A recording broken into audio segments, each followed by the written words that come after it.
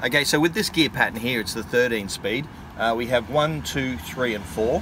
And then we use the range selector to shift to the high range, and then we can locate five, six, seven, eight. Now you notice in these areas here, there's also a high and low uh, for the gears five, six, seven, and eight. Um, so it's called a splitter. So the splitter, each gear you can actually, it's got two stages. So if you were to go through each gear sequentially, you'd be going one, two, three, four, hit the range selector, then you could go five low, five high, six low, six high, seven low, seven high, and so on. Now those extra gears are really handy when you're going up a hill or you've got a load on. Uh, if you've got an empty truck, you're not going to be going through all those gears. In fact, you can even skip a few gears. Um, so, but that's what those buttons do. Now, if you can actually look at the gear stick here, uh, the red button on the side is the splitter and the one at the front is the range selector. So the range selector, if it's in the down position like now, that's gears one, two, and three.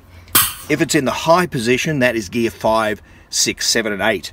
Now in five, six, seven, and eight, we can also activate this splitter. So in the backwards position, it's in low range. In the forward position, it's in the high range. Okay, I want to explain how the splitter works. Uh, the splitter is the button on the side. I've already explained that. I'll show you how it works. So first and foremost, I pre-select the splitter. Then I speed the truck up, speed it up, speed it up, speed it up, speed it up, and as I release my accelerator, the engine dies and then that gear engages. So I've actually just changed from 5 low to 5 high then. The next gear I'm going to go is to 6 low.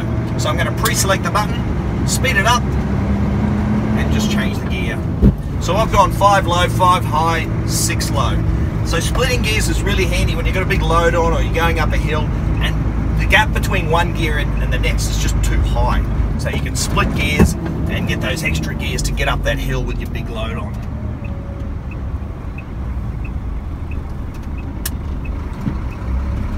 Okay, just demonstrate the splitter. I'm going to split gears going up.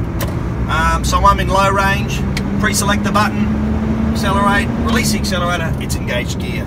Next one I'm going to go to is 5 low, so I pre-select the button and then change the gear. So that's 6 low. Now I'm going to go to 6 high, oh sorry, 7 low, 6 low. Got it mixed up with the gears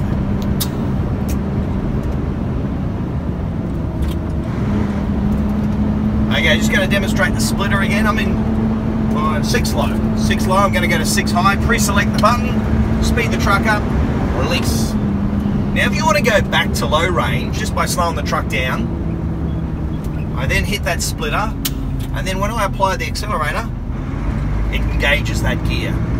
Okay, I'm just gonna go up a gear, up to a high range now.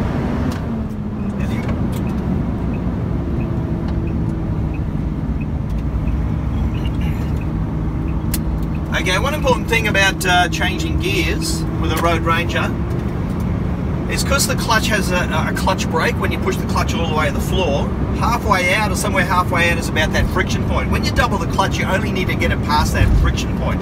So you don't need to be going full clutch, full clutch for every gear change. So what you want to get in the habit of doing is when you change your gears, half a clutch, half a clutch. all you need for when you're uh, doubling the clutch with a Road Ranger gearbox. Half a clutch, half a clutch. Okay, going down the gears, pop it in neutral, give it a rev, pop it into gear. Pop it in neutral,